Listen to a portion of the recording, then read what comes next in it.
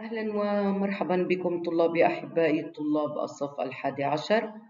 هذا هو الأسبوع التاسع. في هذا الفيديو سنسلط الضوء على أهم المحاور والموضوعات التي تلزمك في العمل الجماعي والمشروع. دعونا نبدأ. بداية لا بد أن نتعرف على مهارات العمل الجماعي. التواصل الفعال.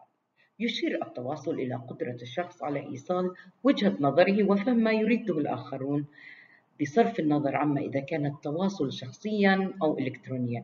لابد عزيزي الطالب في مهارات العمل الجماعي أن تتعلم كيف تتواصل بشكل فعال. القدرة على تحمل المسؤولية. بالطبع هذا أمر فائق الأهمية.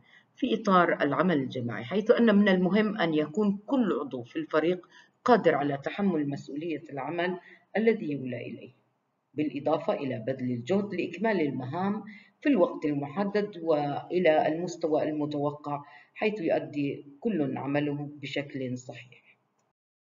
التعاون العمل الجماعي عمل مجموعة من الأفراد الذين لديهم مجموعة متنوعة من المهارات والمواهب. هنا كل هذه المهارات تتجمع لتحقيق هدف مشترك لذا فمن المهم أن يكون أعضاء الفريق قادرين على التعاون فيما بينهم لتبادل الأفكار. مهارة التنظيم والتخطيط. يجب أن يكون الشخص قادرا على وضع خطة رئيسة يفهمها كل عضو في الفريق يتبعها يعرف إلى أين تؤدي كي يتمكن من حل أي مشكلة بفعالية. حيث أنه مجرد الموافقة على هذه الخطة سيتمكن جميع أعضاء الفريق من تنظيم مهامها وتحديد المواعيد النهائية وتنسيق جهودهم. بعد ذلك نأتي إلى مهارات التقديم. هنا بعد أن أعددنا المشروع وكل ما يلزم يلزمنا مهارات التقديم وهو أول شيء الاتصال المرئي. تساعد الاستعانة بوسائل الاتصال المرئي على جذب الجمهور. هنا هذه الوسائل عزيزي الطالب تترك انطباعا إيجابيا لديهم ويشترط أن تكون هذه الوسيلة فعالة قادرة على لفت انتباه الجمهور. التواصل مع الجمهور.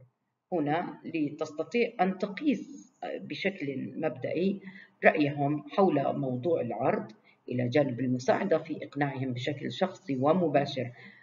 كما يعتبر في هذا العنصر من أهم عناصر مهارات العرض والتقديم. الاتصال اللفظي. يجب أن يكون أنت كمقدم لمشروعك طريقة حديثك واضحة مباشرة لنقل الرسالة التي تريد إيصالها وإرسالها إلى الجمهور.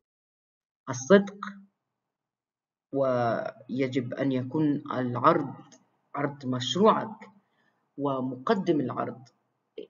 يتحلى بالصدق أن يكون خاليا من المبالغة.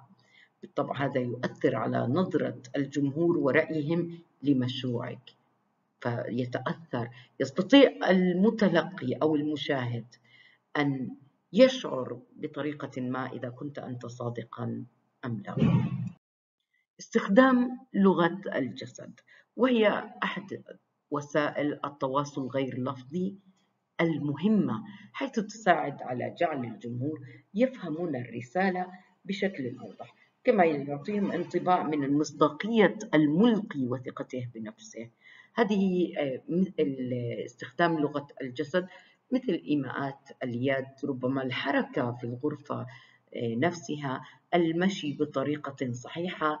الوقوف أمام آه، شاشة العرض إذا كان العرض يحتاج إلى ذلك آه، بطريقة صحيحة. هذه لغة جسد أنا أعتبرها مهمة رغم أنها توصف بأنها غير مهمة.